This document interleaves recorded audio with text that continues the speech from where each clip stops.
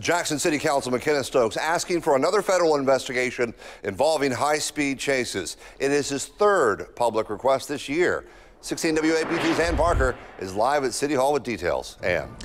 That's right, Scott. Councilman Stokes is up in arms again tonight after a chase out of Richland led to a multiple car crash here in Jackson.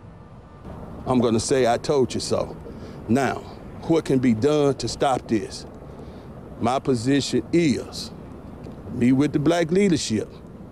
And my suggestion to be rocks, bricks, and bottles. Another war of words for Kenny Stokes after yesterday when Richland police spotted a stolen truck and started chasing it. The chase ended when the stolen truck slammed into a woman's car and then crashed into a ditch on McClure Road in Jackson. A Hinds County cruiser also wrecked during the chase. Richland police say they followed protocol. But the woman who was caught in the crosshairs along with her grandmother, mother, and two small children says she was really worried for her safety.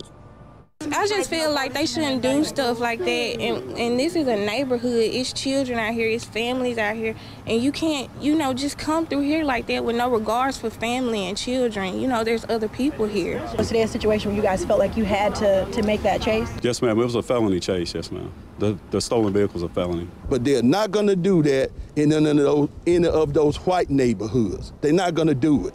And they need to stop doing it in Jackson. In every one of those cities, they have a white mayor and a white chief of police. Now, the suspects involved in that chase are both in police custody tonight, but Councilman Kenneth Stokes says he plans to bring this high-speed chase issue up again in the next city council meeting. He's also asking anyone who actually witnessed that crash yesterday to call his office directly. Live at City Hall in Jackson, Ann Parker, 16 WAPT News. Thanks a lot.